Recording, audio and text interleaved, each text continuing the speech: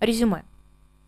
Поняв в 90-е годы, что, будучи оккупированной страной, они не смогут перехватить знамя лидерства у США экономическими методами, власти и элиты Японии решили затаиться.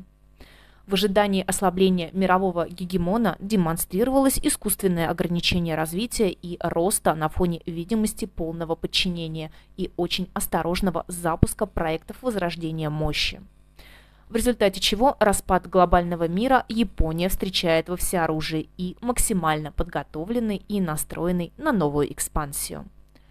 Для защиты от глобального мира японцы создали громадный пласт квазинаучных работ, намеренно искажающих развитие и состояние их общества, по видимости соответствующим западным или атлантическим лекалам.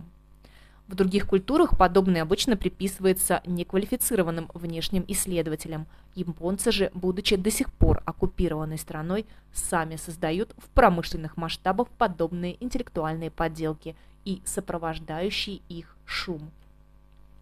В долгосрочном плане они просчитались лишь в одном. Китай набрал слишком много сил. США будут до последнего присутствовать в регионе для сдерживания и лишь после этого на ту же задачу окажется возможным направить большую часть резервов и сил Японии.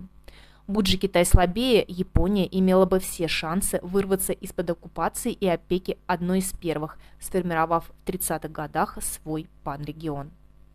России необходимо примерно к 27 году подготовить Дальний Восток к потенциальному противостоянию. Исходя из текущих трендов, пока больше шансов на то, что это не потребуется, но, лишь оно точно, но лишним оно точно не будет. С одной стороны, по, поумерит пыл противника, с другой, в перспективе России все равно нужно будет осваивать дальние земли. Дальние или дан, данные, здесь данные.